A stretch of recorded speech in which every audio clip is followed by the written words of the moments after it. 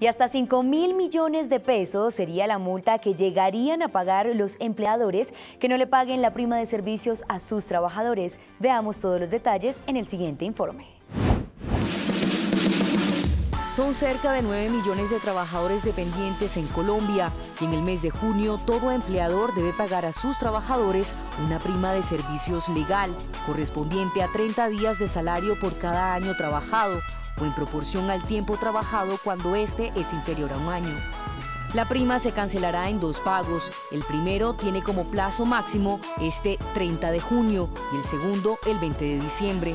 Pero ya, a 30 de junio corresponde a todos los empleadores de cualquier tipo, personas naturales, personas jurídicas, el que sea, pagarle la prima a sus trabajadores equivalente a medio salario.